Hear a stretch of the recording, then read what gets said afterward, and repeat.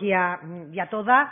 Vamos a desarrollar esta rueda de prensa del Consejo de Ministros después de una jornada en el día de hoy muy importante para España, muy importante para nuestro país y, por tanto, antes de entrar en el punto central, la aprobación de los presupuestos generales de, del Estado para el año 2021, les informo que el Consejo de Ministros, como adelantó justamente el presidente del Gobierno en el pasado domingo, ha solicitado en el día de hoy al Congreso de los Diputados la prórroga por espacio de seis meses del estado de alarma que se decretó el pasado domingo. Quiero decir que esta extensión eh, conlleva la modificación de los artículos 9 y 10 del decreto original, que eran los relativos a las limitaciones de circulación. Por eso, el hecho diferencial de este decreto de alarma, que se solicita en el día de hoy al Congreso de los Diputados, en él se suprime la vigencia actual para todo el país de la denominada limitación o restricción de la movilidad entre las 23 horas y las 6 de la mañana. A partir del momento de la aplicación de esta extensión del decreto de alarma, quedará a criterio, a juicio, en función de los datos epidemiológicos de la evolución de la pandemia, a juicio de cada autoridad competente delegada, es decir, de cada presidente o presidenta autonómico, cuáles son las limitaciones de movilidad que se tienen que establecer en cada comunidad a la vista, como digo, de la evolución técnica científica de los indicadores. Por eso, lo que pretende el Gobierno, como viene trasladando el presidente desde el primer día, es dar un amparo constitucional a las medidas que van a ir aplicando de forma progresiva las comunidades autónomas, insistimos siempre, en función de los datos epidemiológicos, de la preservación de la, salud de los ciudadanos y, por tanto, para superar esta segunda ola actual en donde las medidas tienen que ser contundentes en aquellos lugares donde se ha producido un incremento notable de los casos y no se aprecia un descenso que acompañe doblegar la curva en esta segunda ola.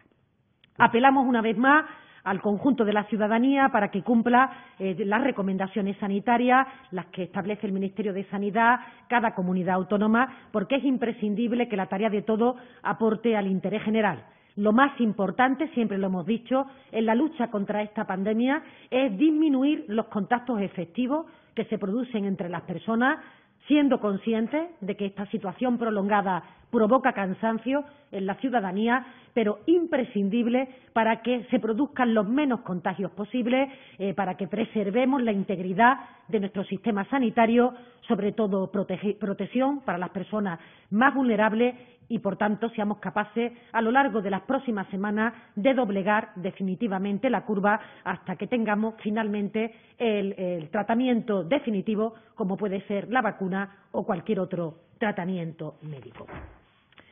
El segundo punto importante que hoy hemos desarrollado en el Consejo de Ministros justamente ha sido eh, la aprobación del anteproyecto de presupuestos para el año 2021. Y quiero decir desde el comienzo que son unos presupuestos esperados, unos presupuestos necesarios, imprescindibles para esta reconstrucción que tenemos por delante, para la transformación de nuestro sistema productivo, eh, intentando que todos los activos que tenemos a nuestra disposición colaboren en acortar esta crisis económica que se acompaña de la crisis pandémica, pero sobre todo el que eh, los efectos de la misma eh, tengan una protección respecto a las rentas de los trabajadores o respecto a la situación de nuestras empresas. Queremos con este presupuesto, por tanto, que nuestra economía, en definitiva, esté mejor preparada para el futuro, que sea capaz de aportar, de generar empleo de calidad lo que da sin duda un valor añadido a toda la política económica y el impulso de áreas emergentes como la economía verde, la digitalización o el propio conocimiento. Son, al mismo tiempo, de unos presupuestos para el crecimiento económico y la creación de empleo, unos presupuestos para la cohesión social, un presupuesto que, como el presidente ha ido trasladando eh, a lo largo de estos últimos meses, pretenden que nadie se quede atrás, por eso el eje de la justicia social, la cohesión territorial, la igualdad de oportunidades, el refuerzo de nuestro estado del bienestar, toda la auténtica red de seguridad que tenemos los ciudadanos durante esta crisis está reconocido, está también reforzado en este proyecto de presupuesto para la tranquilidad, del conjunto de la ciudadanía y de los profesionales que se encuentran trabajando en la primera línea de batalla. Antes de desgranar el contenido de la cifra, algunos apuntes sobre el contexto donde eh, nacen estos presupuestos. Yo diría que nacen en el momento eh, en el que el mundo está sufriendo la mayor pandemia que hemos conocido durante un siglo. Y, de hecho, tras la primera oleada de la pasada primavera, una oleada que provocó confinamientos y un shock sin precedente en el conjunto de la economía mundial, ahora todas las autoridades, todo el planeta, nos enfrentamos a una nueva ola con una batería de iniciativas que plantean restricciones de movilidad en situaciones concretas o en momentos concretos, y todo ello con el objetivo de evitar un confinamiento total por la expresión de las propias cifras. Desde el principio hemos dicho y queremos reafirmarlo que no hay eh, rivalidad ni dicotomía entre salud y economía para que eh, los eh, instrumentos económicos puedan funcionar, es imprescindible que la salud de los compatriotas esté preservada y, por tanto, eh, necesitamos profundizar en las medidas que protegen a, los colectivos que son más vulnerables. Y también, para que haya salud, es necesaria la economía. Son dos caras de una misma moneda que intentamos en este proyecto de presupuesto que se conjugue de la mejor forma posible. Un mejor control de la pandemia es sin duda eh, imprescindible desde el punto de vista sanitario, pero quiero resaltar que también es imprescindible desde el punto de vista de la economía. Es básico para que no se resienta en mayor medida también eh, eh, la situación económica por rebrote que no encuentren ser atajado en el momento adecuado.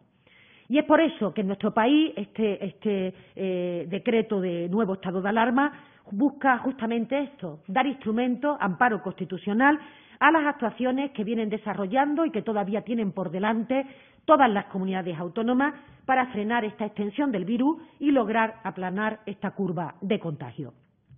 Yo creo que todos somos conscientes que el virus ha puesto a prueba la fortaleza de la sociedad española en concreto del estado del bienestar y quiero una vez más reconocer el trabajo de todos los profesionales de los servicios esenciales, básicamente los servicios sanitarios, también los educativos con el comienzo del curso escolar, por supuesto cuerpo y fuerza de seguridad del Estado. Y creo que la enseñanza importante en este apartado de la crisis es la necesidad del refuerzo, así como también eh, se nos han puesto de manifiesto algunas lagunas y algunas debilidades en relación con nuestro estado del bienestar que tenemos que corregir. De otro modo, España está ya llamada eh, a vivir una transformación energética eh, sin precedentes, a modificar también la base productiva de nuestra economía y a apostar por un modelo de crecimiento digital y tecnológico. Creemos en este momento, este Ejecutivo, que es el momento para acelerar este proceso que empieza a convertirse en una cuestión urgente en España, en Europa y en el conjunto del mundo. Es de ahí que el presidente esta mañana haya resaltado en diferentes ocasiones que estas cuentas públicas para este año 21 son la oportunidad que tenemos para avanzar en estas transformaciones tantas veces diagnosticadas, que son consenso de los grupos de expertos y que nos van a permitir, si hacemos las cosas razonablemente bien, dejar a las futuras generaciones lo que pretendemos, un país mejor.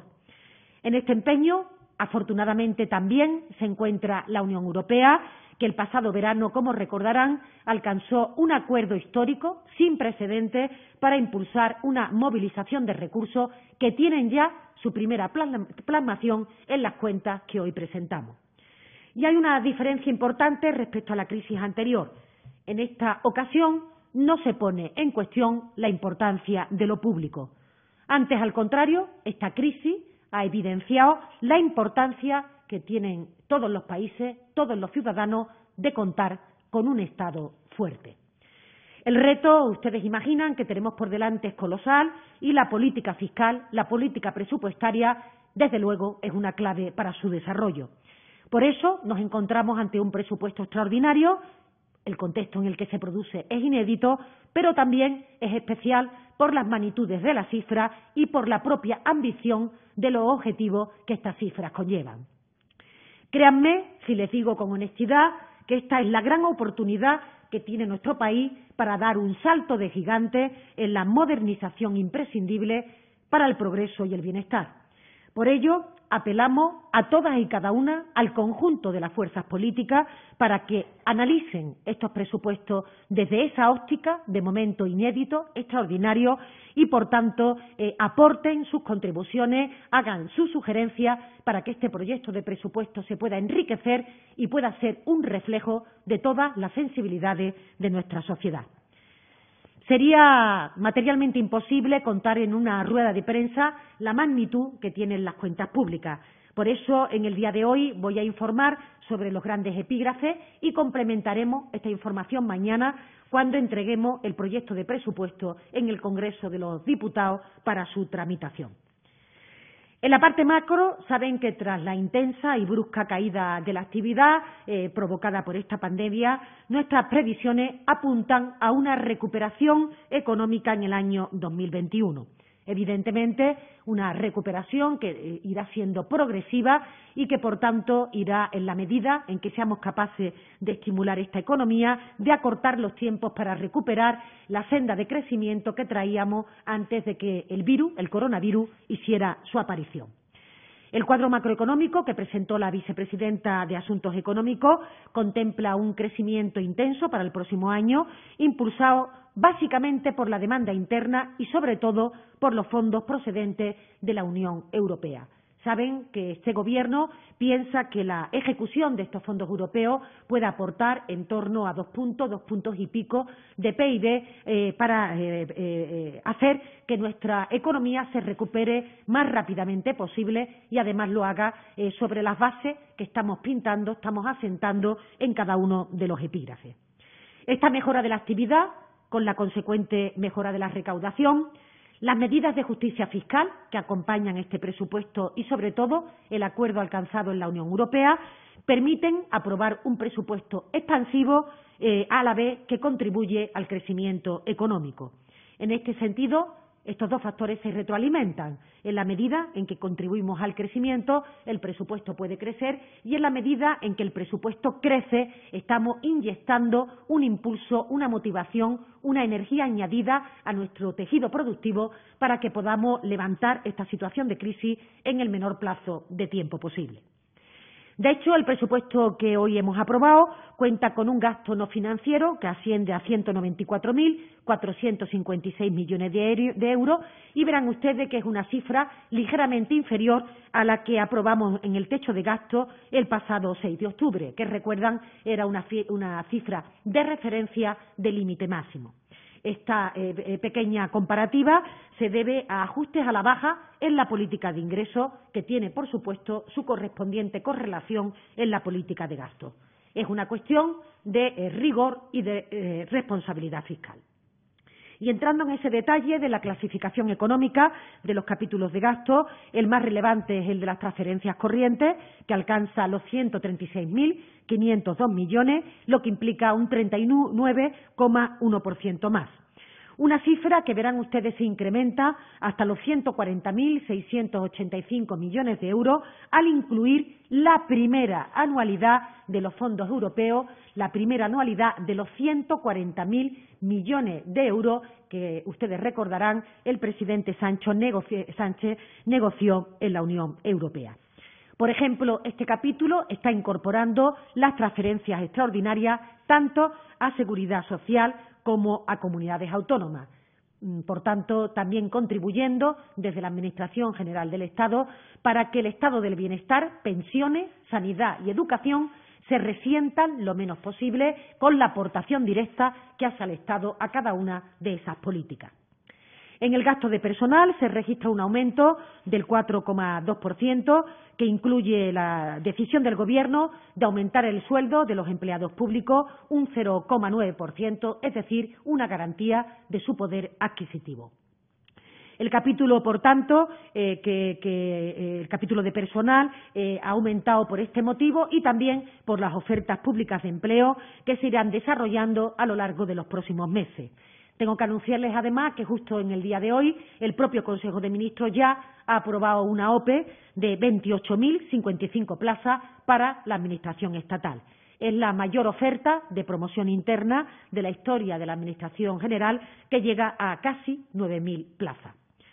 También decirle que eh, detrás de las voluminosas cifras del presupuesto hay un mayor esfuerzo en becas, que se traduce eh, también en los datos que ustedes tienen por delante, un incremento importante del gasto en independencia y también de los créditos necesarios para combatir pobreza infantil. El capítulo que más aumenta es el de las transferencias de capital, es decir, las políticas de inversión que nos debe permitir este salto de calidad que va a dar nuestro país. Este capítulo, el de la inversión, incorpora 19.668 millones de las ayudas europeas. Un dinero que, por ejemplo, se va a destinar a políticas de vivienda, a movilidad sostenible, a proteger el sector turístico o a la inversión en atención primaria o en tecnología sanitaria. Queremos que nuestro sistema sanitario dé una respuesta en tiempo y en forma, pero también queremos que sea un sistema moderno, a la vanguardia, que permita eh, diagnóstico y tratamiento de enfermedades que necesitan alta intensidad de tecnología y, por tanto, también entrenamiento de nuestro profesional sanitario.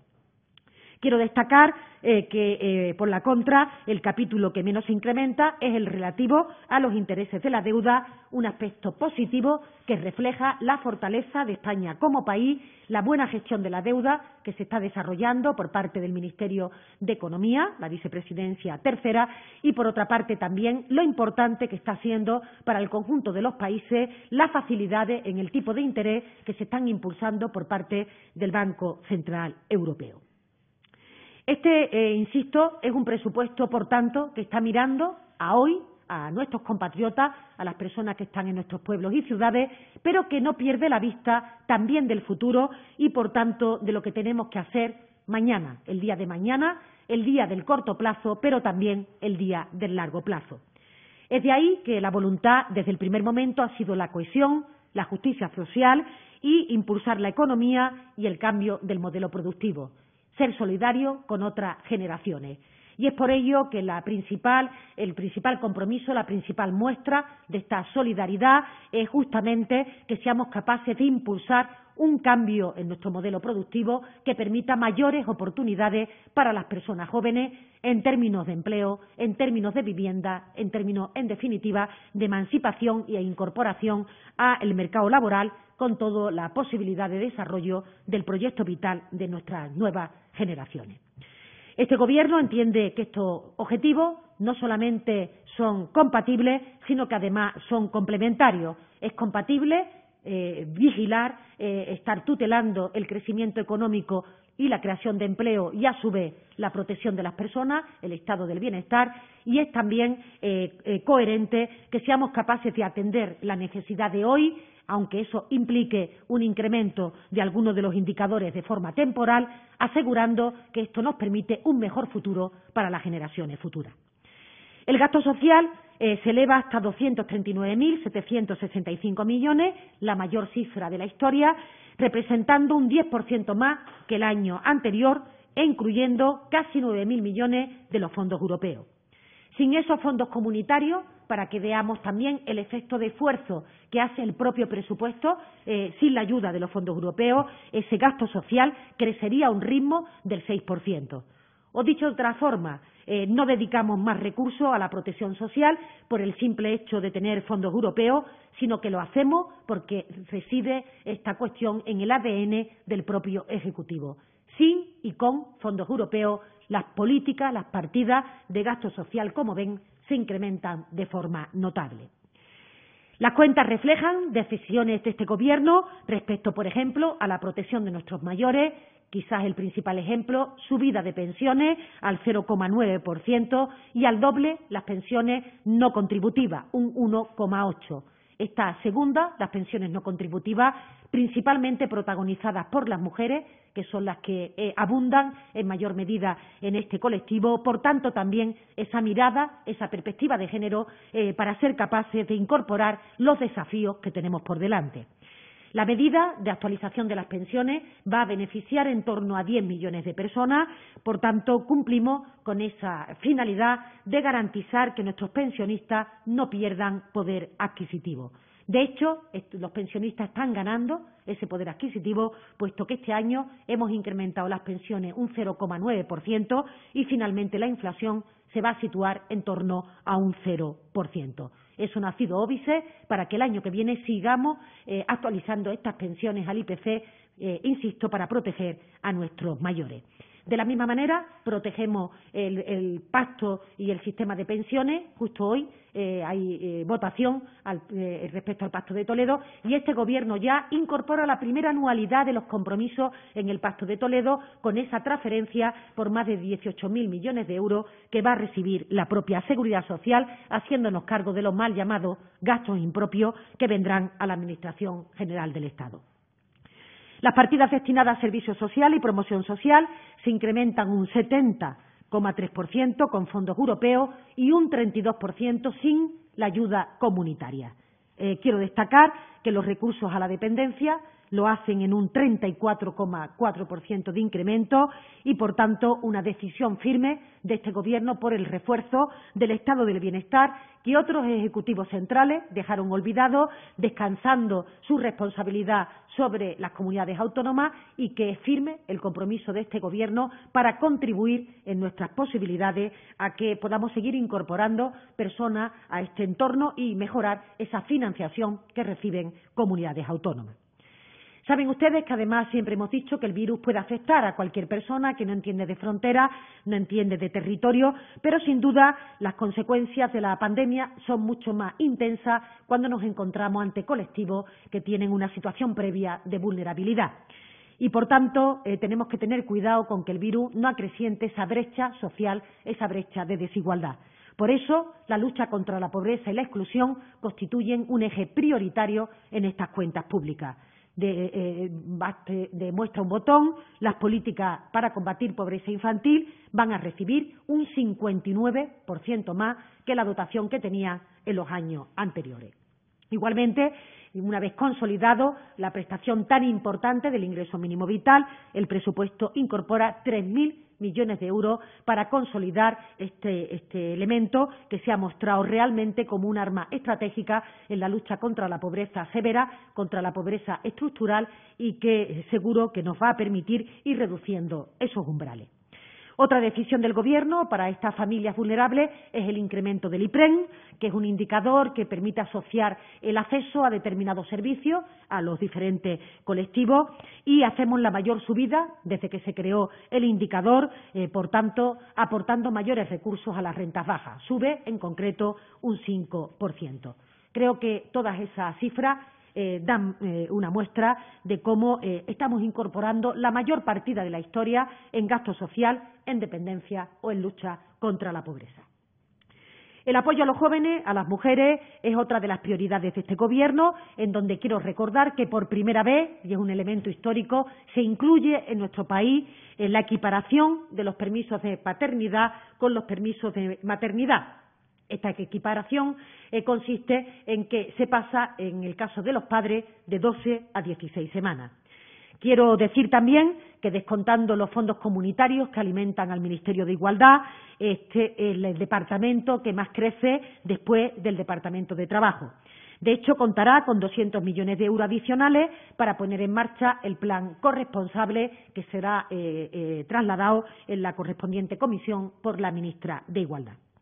La prevención de la violencia de género sigue siendo prioritario en estas cuentas públicas. Queremos que todas las mujeres sepan que no están solas, que el Gobierno, que el conjunto de la sociedad estamos detrás para que ellas superen esa situación de desesperanza y de drama que viven diariamente y, por tanto, va a alcanzar violencia de género 180 millones de euros, lo que supone un incremento de 21 millones respecto al año 2020 y dando, por supuesto, cumplimiento al Pacto de Estado contra la violencia de género que se firmó con las formaciones políticas. Esa más igualdad de oportunidades es para nosotros evidente, no solo en el ámbito que tiene que ver con la igualdad entre hombres y mujeres, sino también con la posibilidad de qué personas que no han tenido o no han nacido en una familia que aportaba o que daba eh, posibilidades para que estas personas pudieran progresar, se puedan beneficiar de este escudo eh, social, de este ascensor social, para que éste siga funcionando y siga incorporando a mayores personas a esta cota de bienestar. Nosotros queremos con este presupuesto que el talento de los jóvenes no se limite por la renta de la familia, aquella persona que está en condiciones de progresar en materia de conocimiento, en materia de estudio. No queremos que el elemento de renta sea ningún obstáculo para que estos jóvenes puedan seguir avanzando. Por eso el presupuesto contempla la mayor partida de becas que hemos tenido en nuestra historia, eh, en concreto 2.090 millones de euros, lo que representa 514 millones más respecto al año anterior. De hecho, esta política educativa sube un 70%, contando con las dotaciones de los fondos europeos, que van a ir dirigidos a fortalecer las competencias digitales, tanto del profesorado como de los alumnos, a impulsar la formación profesional, clave de bóveda en la reconstrucción económica de nuestro país. Tenemos absolutamente identificado que la apuesta por la formación profesional es una apuesta de futuro imprescindible para acompañar a esa transformación del tejido productivo y también queremos extender de forma progresiva la educación infantil de cero a tres años en colaboración con las comunidades autónomas, no solo por la conciliación, sino sobre todo por el mayor rendimiento de toda la etapa educativa cuando los niños, las niñas se incorporan en edades tempranas. Me quiero detener en el esfuerzo en relación con las materias sanitarias. Creo que todo y todas hemos aprendido la necesidad de reforzar nuestro sistema sanitario para que sea un sistema que esté siempre de forma resiliente en condiciones de acometer los grandes retos que nos, ha presentado el presente, pero sobre todo aquello que hemos aprendido para que en el futuro podamos evitarlo en la mm, mm, medida de nuestras posibilidades y ojalá lo hagamos porque también controlemos todos los elementos de transición ecológica que son un caldo de cultivo para esa proliferación de enfermedades. Por eso, estas cuentas públicas refuerzan las capacidades en el sistema sanitario ante esta pandemia, mejorando la capacidad de respuesta en el nivel preventivo, asistencial, hospitalario o respecto a la atención primaria. Y, de hecho, la política sanitaria es la que más sube en el año 2021, en concreto un 75,3% más.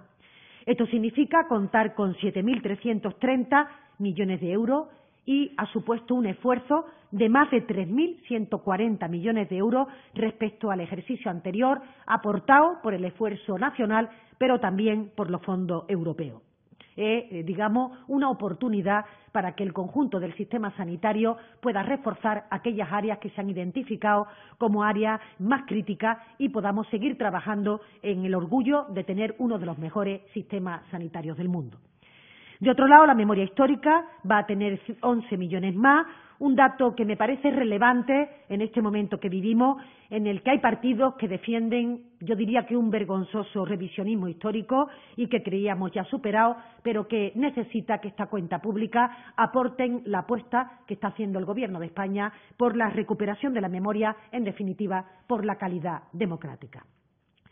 Sin duda, otro apartado destacado del presupuesto es el relacionado con las políticas de fomento del empleo y de protección al desempleo.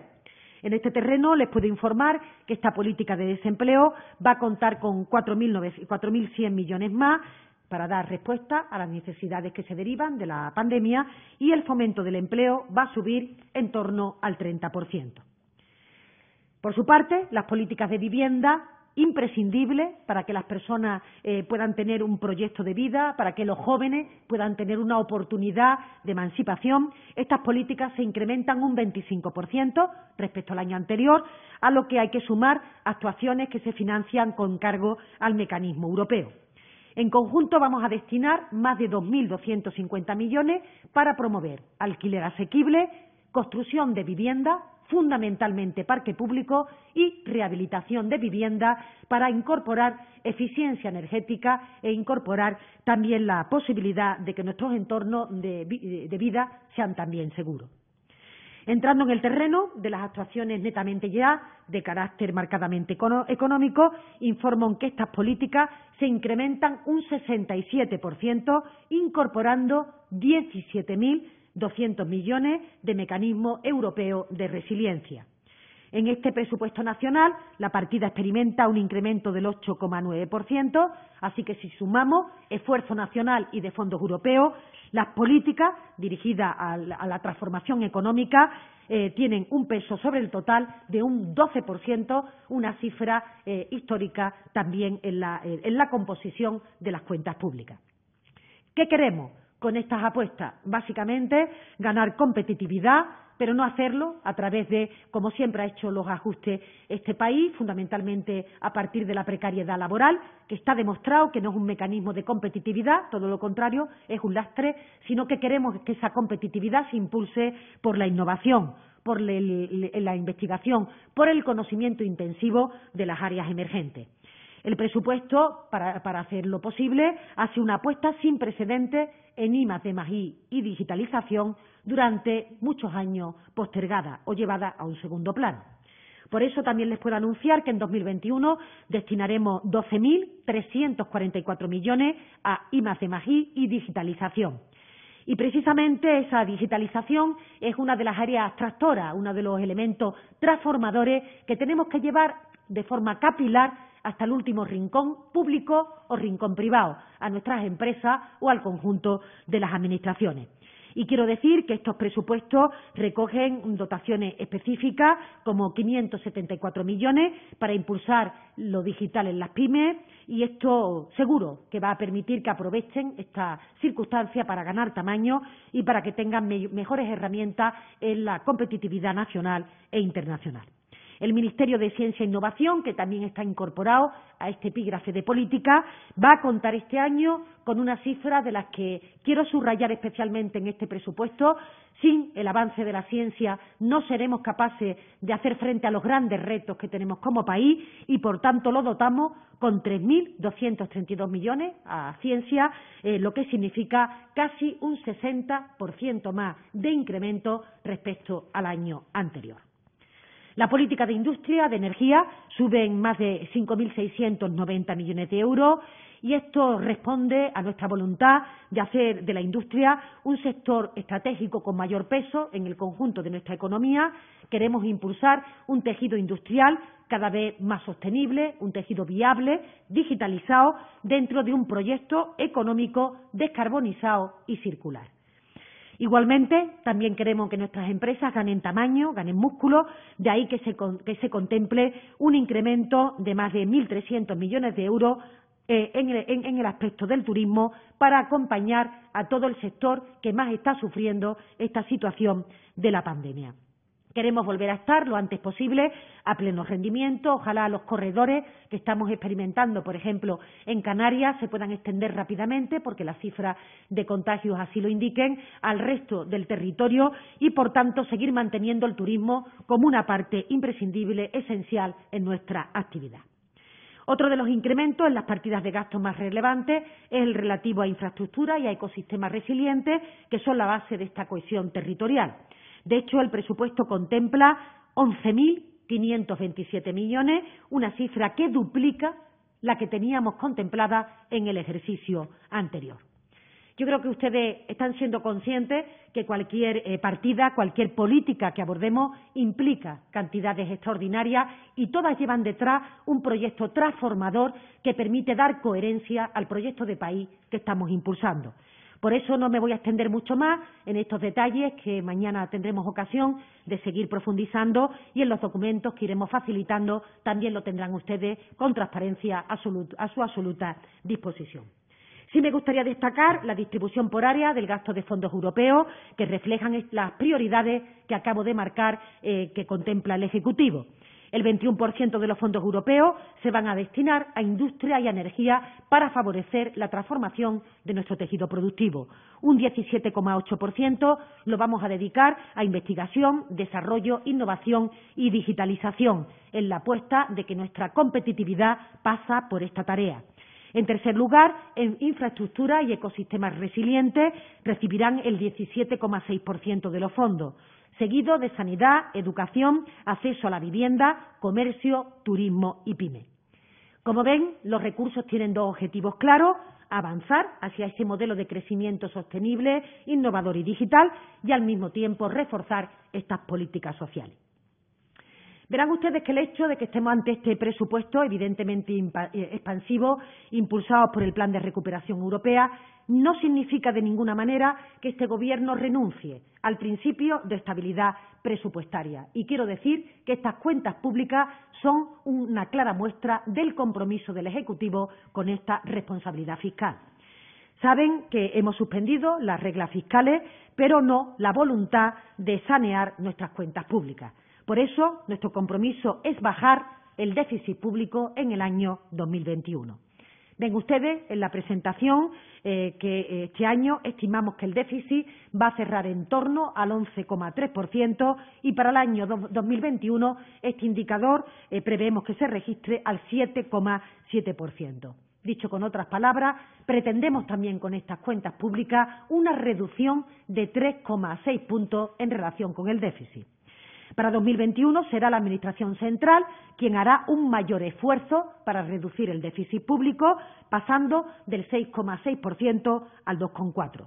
Como ven, la previsión es que el déficit de comunidades eh, pueda subir y también el de los ayuntamientos eh, por motivo de la utilización de los remanentes. En el caso de la seguridad social, el déficit va a bajar al 3% porque el mayor gasto para combatir la pandemia se ha producido ya durante este año. Y recuerdan que las comunidades autónomas van a recibir una transferencia del Estado para que eh, no tengan dificultades de tensión en sus cuentas públicas. Por tanto, eh, vamos a aliviar esa referencia de objetivo de déficit situándola en el 1,1 porque el resto lo asume, como digo, la Administración General.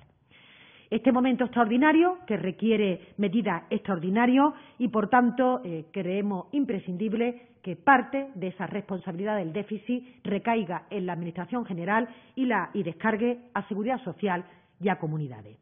La transferencia que va a permitir este efecto por parte de Seguridad Social asciende a 18.396 millones que vamos a abonar para que esos gastos impropios pasen a la Seguridad Social y tengan tranquilidad nuestros pensionistas de que estamos ya trabajando para que el futuro de nuestros sistemas de pensiones esté plenamente garantizado, como es el objetivo de este Gobierno y del propio Pacto de Toledo. Y también quiero trasladar un mensaje de confianza a las comunidades autónomas. En esta ocasión, el Ejecutivo las va a acompañar para que el esfuerzo sea proporcional y no recaiga, como ocurrió en anteriores crisis, sobre ella el mayor peso de los ajustes. Con esta inyección de liquidez, eh, ven ustedes en esa tabla cómo queda la distribución de los esfuerzos de déficit en relación con cada uno de los parámetros.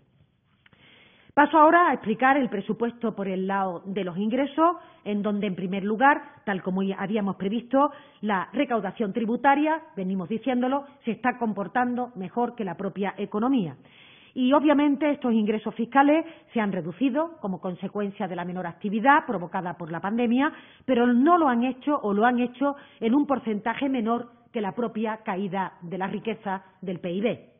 Verán ustedes, en 2020 la recaudación tributaria cae un 7,6% en nuestra previsión, 3,6 puntos menos que el PIB nominal. Este es un hecho diferencial con la anterior crisis que los fiscales, ustedes recordarán, cayeron a plomo de una forma contundente con la propia actividad y ahora estamos observando un fenómeno justo al revés, en donde los ingresos fiscales se comportan mejor que la economía. Y quiero decirles que esto no es casual. Eso parte de diferentes factores que explican la situación, por ejemplo, la protección de rentas aprobada por el Gobierno, ayudando a las empresas, a los trabajadores y a los autónomos, y esto ha permitido los ERTE, como principal herramienta, que el IRPF se haya mantenido estable y se va a mantener estable durante este ejercicio. También la recuperación de la actividad prevista para el 21 se traduce en un aumento de la recaudación fiscal. Recuerden ustedes eh, que siempre hacemos referencia en este apartado a la V asimétrica y, por tanto, eh, a la profundidad de la caída, pero también a la intensidad de esa recuperación y en donde esas eh, figuras fiscales que la acompañan, IRPF, IVA o impuestos de sociedades, evolucionan de forma positiva y evolucionando de forma mejor que la propia economía. Nuestra intención, lo ha dicho el presidente en diferentes ocasiones, es abordar una eh, reforma fiscal en profundidad para que podamos ir acercándonos a la media europea, a los países desarrollados de nuestro entorno, y lo haremos, y así lo, trabajaremos, cuando la crisis sanitaria se haya superado de forma total y se haya también recuperado la incertidumbre y la propia estabilidad económica. Hemos dicho siempre que seguiremos trabajando en esa justicia fiscal, pero lo haremos acompañando a la propia situación económica. Y por eso eh, hemos creado, vamos a eh, darlo a conocer públicamente en los próximos días, un comité de expertos que permita a este Gobierno tomar nota de ese asesoramiento respecto a la revisión en profundidad de nuestro sistema fiscal básicamente en las figuras que están aportando un menor rendimiento o en las figuras que tienen una progresividad fiscal innata que está lejos de lo que podríamos llamar justicia fiscal. No obstante, como siempre hemos transmitido, hemos incorporado algunas modificaciones tributarias y fundamentalmente todas ellas están avaladas por organismos nacionales, AIREF como principal evaluador o internacionales como la Comisión Europea, Fondo Monetario e Internacional o la OCDE. Por tanto, cambios tributarios puntuales que responden a las recomendaciones del conjunto de las administraciones y del conjunto de los organismos internacionales. El objetivo de estos ajustes fiscales son, primero, ganar progresividad, segundo, favorecer también el trabajo de nuestras pymes, tercero, apoyar hábitos de vida saludables, cuarto, avanzar en fiscalidad verde y quinto, es comprensivo de todos los anteriores, adecuar el sistema tributario a la realidad económica del siglo XXI. Tenemos una eh, tributación eh, analógica para una economía digital. Y, por tanto, hay sectores que se ven repercutidos negativamente por esa menor contribución que hacen sectores emergentes de la economía que no tienen reflejo en la situación tributaria. Las medidas, de forma muy resumida, tendrán más información en la referencia del Consejo de Ministros, están en relación con el IRPF, se incrementan dos puntos, las rentas del trabajo superior a 300.000 euros, se trata solo el tramo respecto a esa, medida y se trata de una eh, eh, cuestión que beneficia esta progresividad del sistema y cuyo efecto se limita al 0,0%, 0,7% de los contribuyentes. Verán ustedes, por tanto, a un grupo de ciudadanos muy, muy eh, limitado. En la parte de rentas de capital y de ahorro se establece una subida de tres puntos a partir de los 200.000 euros, una medida que ha sido recomendada por la OCDE y que afectará a unos 17.000 contribuyentes eh, de un total de 21 millones. Los planes de pensiones, en línea con las recomendaciones de la IREF y de la Comisión Europea, revisa la reducción aplicada a su eh, fiscalidad, en concreto de 8 a 2.000 euros, el importe de aportación máxima en los planes individuales y también se limita el componente regresivo que tiene el incentivo fiscal. De hecho, hay que destacar que la mayor parte de los partícipes de estos planes de pensiones realizan aportaciones muy inferiores a esos 8.000 euros, eh, que son el límite actual de reducción.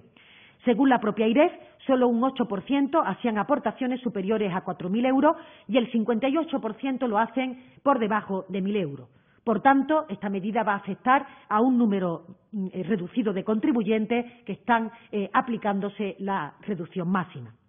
Y en línea con el acuerdo del Pacto de Toledo, que espero que salga eh, esta tarde refrendado, el límite conjunto de reducción, es decir, aportación de plan individual eh, eh, de las empresas, se amplía de 8.000 a 10.000 euros. Vamos a incentivar que las empresas aporten a esos planes de pensiones en el diálogo social, en la negociación colectiva, en todos esos entornos de negociación empresario y sindicato.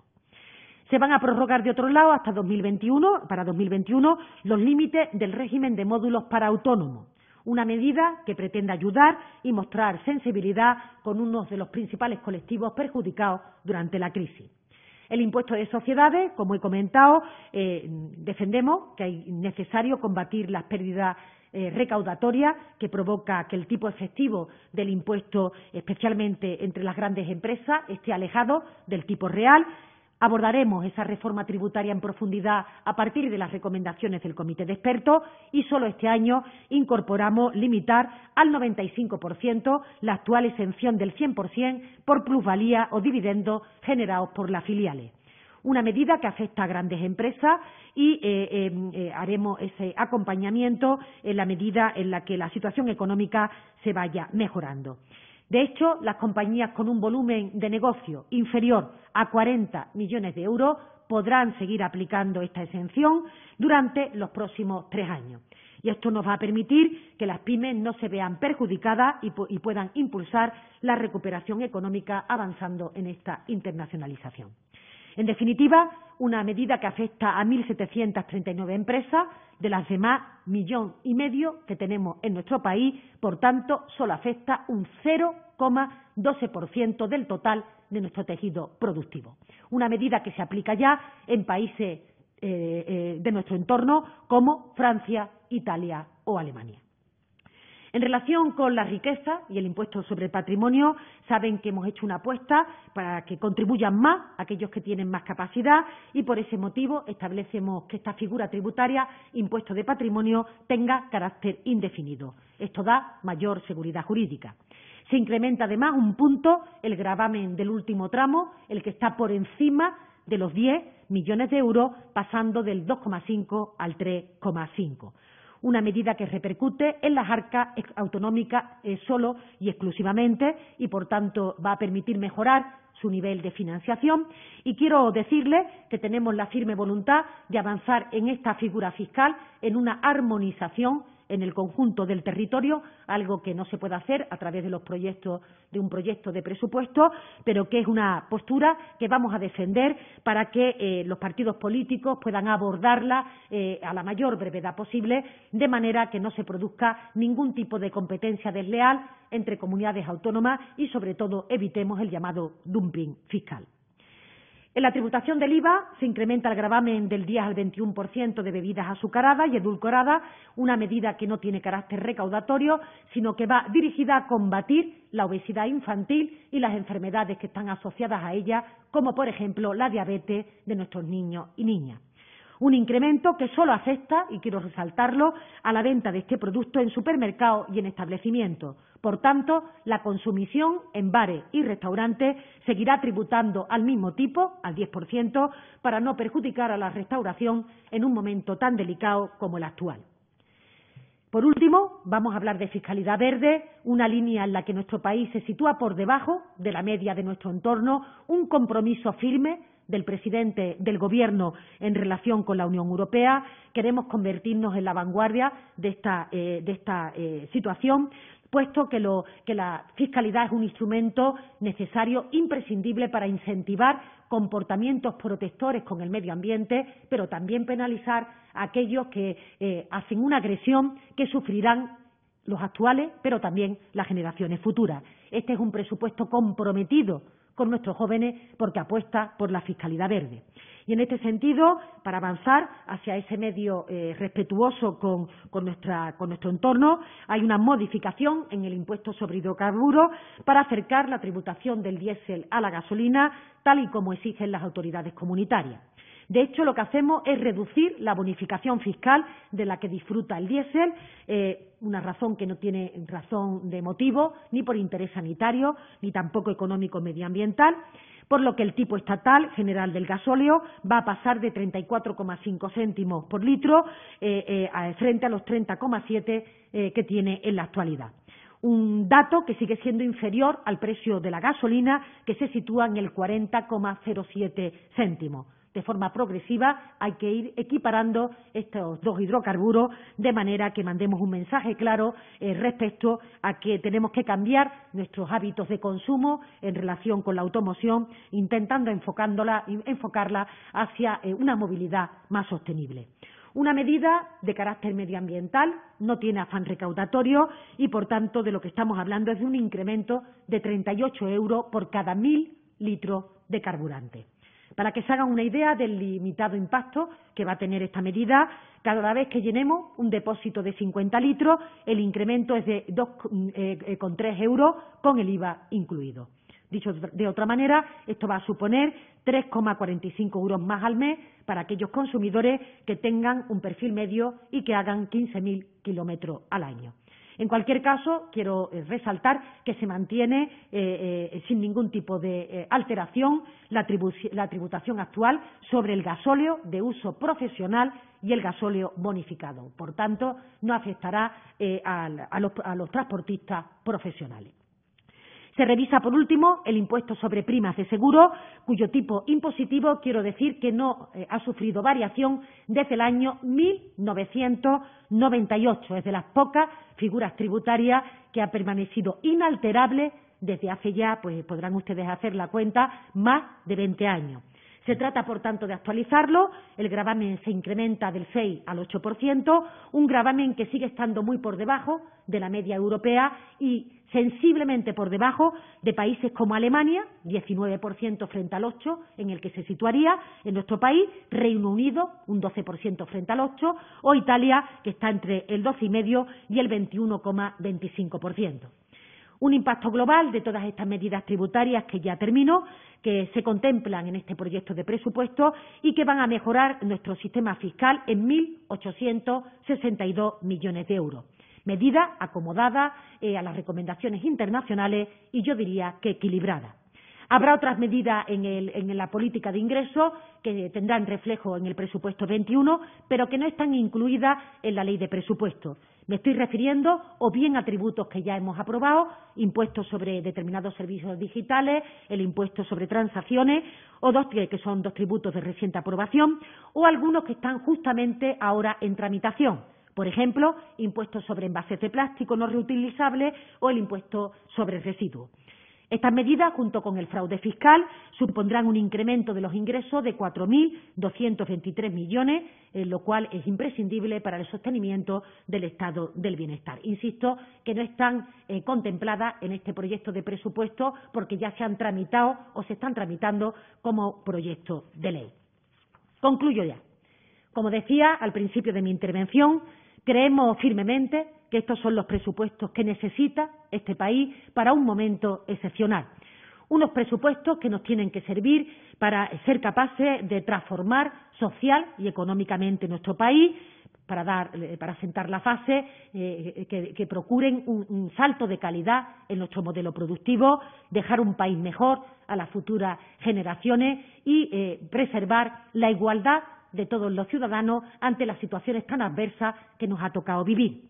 Y sabemos que la situación para muchas personas no es sencilla. Esta pandemia sigue poniendo a prueba la fortaleza de la sociedad española, del sistema económico, pero también del sistema de protección social. Pero tenemos la certeza, la esperanza de que España logrará superar estas dificultades si consigue tener unas cuentas públicas que serán una palanca indispensable para lograr ese objetivo. Es un elemento al que están llamados el conjunto de las fuerzas políticas. Queremos que todos y todas se sientan reflejados en estas cuentas y que, sobre todo, sean útiles para cambiar la vida de la gente, sean útiles, en definitiva, para superar este bache y que seamos capaces de poner todos los activos del país al servicio de la recuperación económica, activos públicos, activos privados. No sobra nadie, somos todos necesarios. Muchas gracias y quedamos a la espera de las preguntas.